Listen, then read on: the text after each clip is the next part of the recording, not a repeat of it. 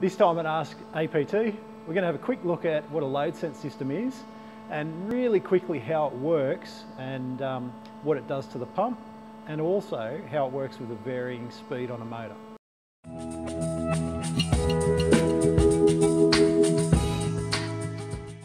So we have set up our variable speed rig. So this is our PLC and, and variable speed pump on. All we've got set up today is over there we come out of our pressure line which is red and we come along and we have our flow control. So the flow control sets the amount of flow that's coming through the circuit. From there we have our signal line. So this signal line travels all the way back to the pump and down that orange line just there and that's giving the pump the signal to deliver flow. So it's on the downstream side of the flow control. Flow meter and then we're using a sequence valve here to give us a load, a dummy load. So we're just simulating having a load. And at the moment, we've got two pressure gauges on here, and the two pressure gauges are reading the pressure across the flow control valve. So we're going to see either side of the flow control. So here is the incoming side or the pump pressure, and here is the load pressure. And we should see that they're slightly different.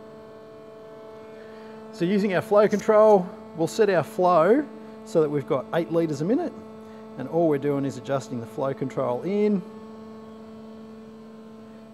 and we've got eight litres a minute. We've set eight litres a minute. So the flow control there is set at eight litres a minute and our pressure gauges, when we turn them back on, will show us that we have around about 20 bar pressure difference across the two. So that 20 bar is maintained and the pump is going to maintain that 20 bar across the flow control and that's what maintains the, the flow no matter what the pressure is on our load. So we've got 20 and 20, we've got 27 and 7 there on our two gauges. Now if I increase the pressure, so my load pressure on this gauge, if we take that up to 30 bar,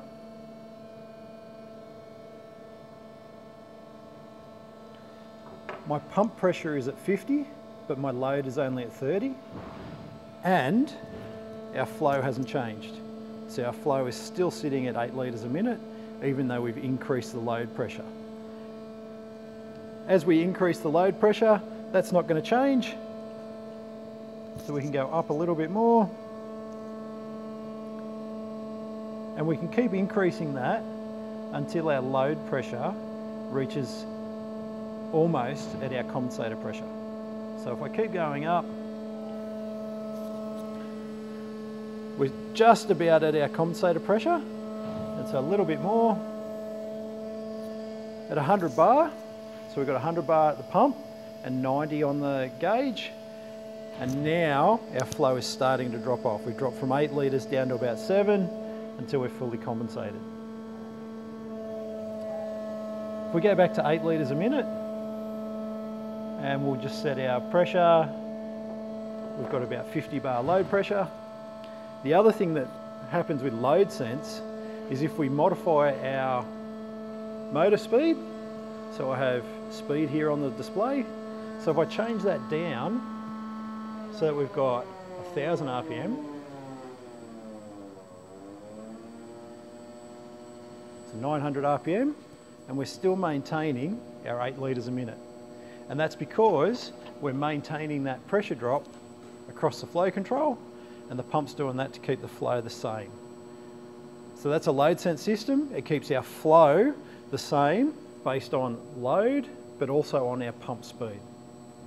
So that's load sense in a nutshell. Basically what we're doing is we're using a signal to tell the pump to deliver the flow that we need at the pressure we need and maintain that pressure drop across the flow control or the orifice. Now that flow control might be in a valve bank, it might be a flow control just like that, or it might be in a monoblock or whatever it is. So that flow control is just the speed that we're asking the pump to deliver the flow for. Hope you found that interesting. Ask your questions below, send us an email or let us know what you'd like to know and we'll try and get a video out to you.